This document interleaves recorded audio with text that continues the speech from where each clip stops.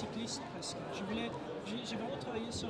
But it's a sportswear take on, on camouflage. There is no, there's, it isn't any literal military influence or, or element in this show. It's everything seen through sportswear eyes. It's more like an urban soldier. It's like a guy on a bike in a big city and just slaloming through through a lot of danger, but going fast. I always like a good suit.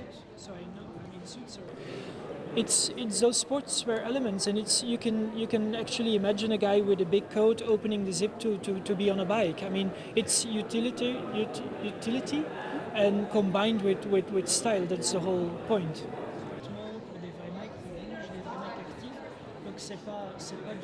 Well, I always like a nice suit, but I always I also feel like suits need to be dynamic. They need to be 2015, and to be to be honest, young young guys today they don't want to look like the way their fathers used to look or, or all that. So it needs to be it needs to be more dynamic, more sportswear. So there's a, a kind of a hybrid uh, thing going on, but always in my collection. C'est.